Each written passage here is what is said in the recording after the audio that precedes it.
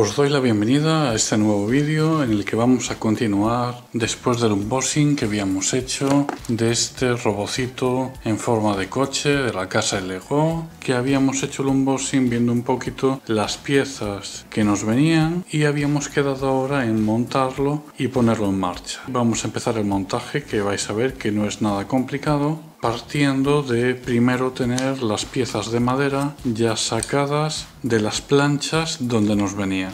Pues el primer paso en este montaje es coger esta tablilla que es la parte inferior, irá colocada en esta posición justo con los dibujos hacia arriba y necesitamos coger dos bolsitas, por un lado la bolsa número 1 y por otro lado la bolsita número 3. Vamos a montar ahora la electrónica su colocación será de esta manera y el Arduino Nano hacia la derecha quedando, como veis, a ras. La placa se agarraría a la madera mediante estos dos agujeros que se aprovechan para hacer la instalación de lo que estaba en la bolsita número 1, que es esta pieza, que irá aquí, con los dos tornillos únicos que nos vienen y las dos tuercas.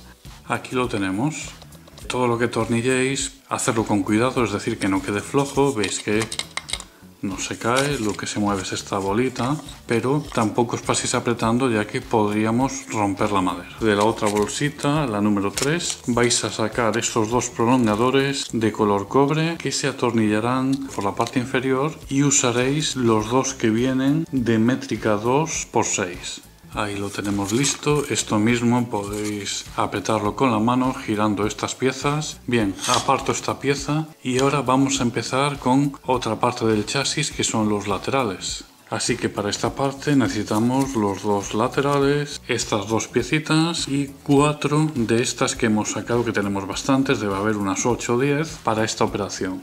Y tenéis que coger de la bolsita número 2 los cuatro tornillos largos con las tuercas que nos vienen, así que vamos a abrirlo. ¿Cómo hago la instalación? Bueno, lo primero, la cara de afuera es la que está marcada con el láser, no la que está plana. Y esta zona de aquí encaja con los motores, que veis que tenemos dos agujeros para tornillos, que son estos dos. Por aquí sale el eje y este agujerito pequeñito encaja con esta prolongación del motor.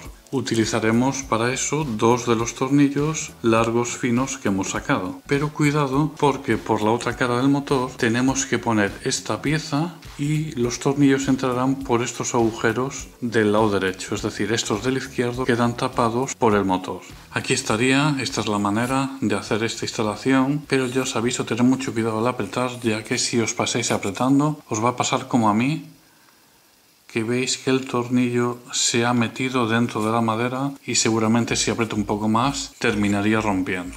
Bien, pues con esta lista lo que tengo que hacer es repetir lo mismo en la otra pieza cogiendo el otro motor. Otra pieza lista con el mismo procedimiento. ¿Cómo se encajan sobre nuestra base? Bueno, pues la idea es estas prolongaciones que tienen este corte, que veis hay una por aquí adelante, y esta que hemos puesto aquí detrás del motor deben de encajar en esta zona de aquí y entrar por esta rendija justo como estáis viendo aquí. Y después con estas piezas pequeñitas debemos de asegurarlo.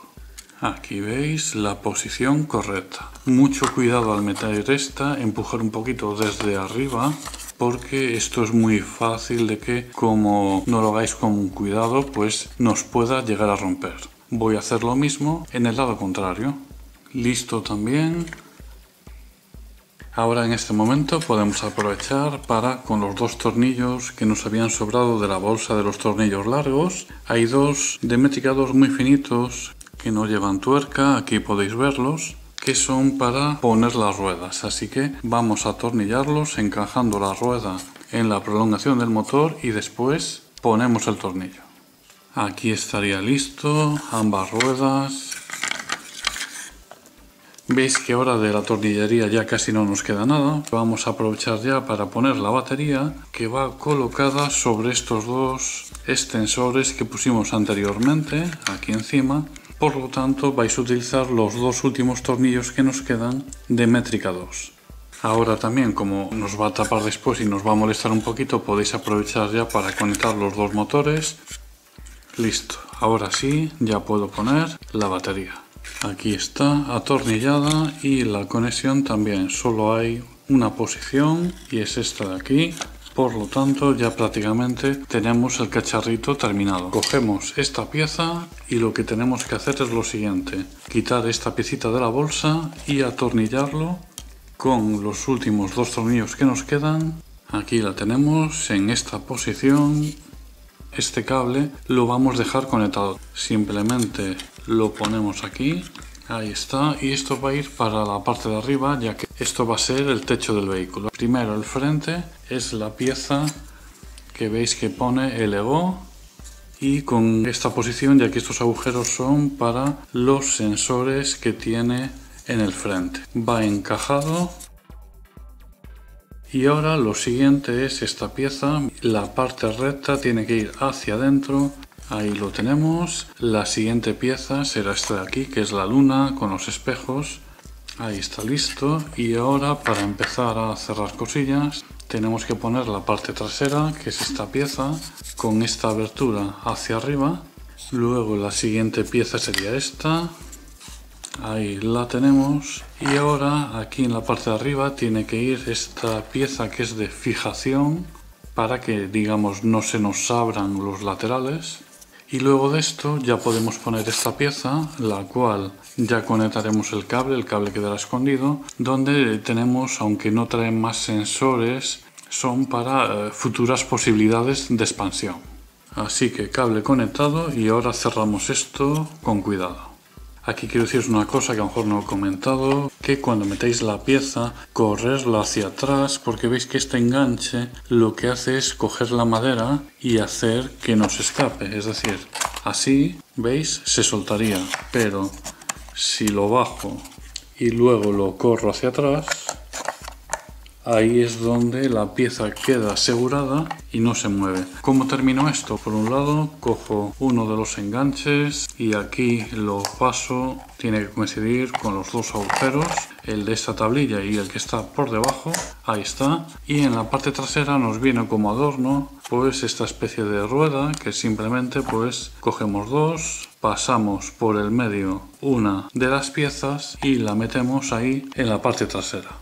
Ahí está, esto es simple adorno y no haría falta ponerlo, pero lo tenemos. Pues ahora nos toca el momento de programar el cacharrito, de momento lo voy a dejar aquí, ya que el primer paso es que vayáis a la web de Lego, es lego.com barra y nada más abrir tenéis que hacer un clic aquí en el Lego Robot Car Mini 1.0 y os descargará este ficherito de unos 400 megas más o menos donde viene todo lo que necesitamos. ¿Qué es lo que viene dentro de ese fichero comprimido? Bueno, pues he visto varias cosas interesantes, aparte del manual en múltiples idiomas, drivers por si conectamos al ordenador y no nos reconoce Windows, eso pasa en Windows 7, tutorial de cómo se hace el upload. Y después nos viene también información sobre la placa. Y después una cosa que sí me ha parecido interesante, Minicar 3D Model, encontramos aquí dentro, vamos a abrirlo con Paint 3D, aquí. Creo que la reconocéis, son las que teníamos ya precortadas, me imagino, por si alguna se nos rompe o hacer nuestras modificaciones. Tenemos los STL, que siempre es bastante interesante tener todo en abierto. Entonces, ¿Cómo programamos el cacharrillo una vez tenemos todo? Fijaros una cosa que tiene dos conexiones USB, que una pone charge, que sería para cargar, y por el otro lado tenemos una que pone upload. Así que debemos primero conectarlo en esa conexión y no en la otra. Aquí podéis ver cómo ya lo tengo conectado y al conectarlo se enciende este LED de status que me indica que está recibiendo corriente y puede ser programado. Debemos de ir a Arduino. Arduino abierto, vamos a ir a archivo, abrir, vamos a donde se me ha descargado esto, que lo tengo aquí en descargas, LO, carpeta minicar y tenéis que buscar un fichero de extensión .ino que es donde aparte de cargarse la programación podríamos toquetear diferentes cosas. Voy a ver si Arduino me reconoce el cacharrito, porque en principio el LED está encendido y parece que está todo correcto. Herramientas, placa, tenéis que coger Arduino Nano, que es esta de aquí encima. Vuelvo a herramientas, procesador ATmega 328P y puerto nos lo ha reconocido en el CON 10. Perfecto. Podría darle aquí a la flechita de programar, pero falta una cosa, mirad. El coche en el lado contrario tiene aquí un interruptor que veis que pone B a la izquierda y U a la derecha. A la izquierda significa que tiene el modo Bluetooth activado, por lo tanto en ese modo puedo conectarme con el móvil, pero no puedo programarlo. Así que tenéis que darle un toquecito a la derecha, aquí, para que esté en modo U, que es Upload. Acordaros que cuando terminéis la programación debemos de el interruptor moverlo al lado contrario. Voy a darle a programar y vamos a ver si se nos programa sin ninguna incidencia. En principio ya está compilando, Recordar también el cochecito, tenerlo en modo off, el interruptor, no sea que termine de programar y nos salga disparado. Se ha programado correctamente. Pues ahora simplemente vuelvo a mover el interruptor a la B y vamos a ver si esto funciona. He puesto el circuito en el suelo, tengo el cochecito, lo vamos a encender, se enciende la luz, en principio está todo ok y ahora, en el lado contrario, aquí hay un interruptor donde pone mode que según le vayáis dando toques, se activa un modo u otro. Por defecto está en modo 0 que es apagado y el primer modo sería el modo sigue líneas. Así que si le damos un toque a mode debería de empezar a funcionar. En modo sigue líneas debe activarse en el frente estas dos luces en color verde. En principio debe estar, vamos a ponerlo.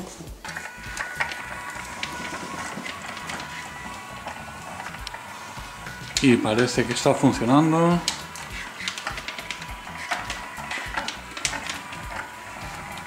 Muy bien, el modo sigue líneas. Veis que funciona perfectamente. También lo he puesto de cualquier manera. Esto eh, si coge una doblez, pues seguramente puede irse fuera y no hacerlo bien, aunque me ha salido yo creo un poco de chiripa. Tendría que estar mejor puesto. Tengo que darle un toque y en principio las luces veis que cambian de color. Y ahora hay que ver si esto esquiva obstáculos o no.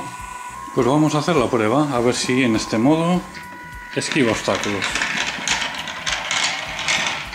Parece que sí. Ahora se está pensando hacia dónde va. Ha esquivado ese pero contra la pared va a acabar chocando, va a funcionar, bueno, más o menos. Funciona, ahora es cosa de jugar con él, ver qué opciones eh, de ampliación tenemos, jugar con el firmware a lo mejor un poquito también, mejorar las piezas con impresión 3D, bueno, hay bastante juego con este tipo de cacharritos y aparte pues es muy económico. Nada más, me despido, un saludo a todos.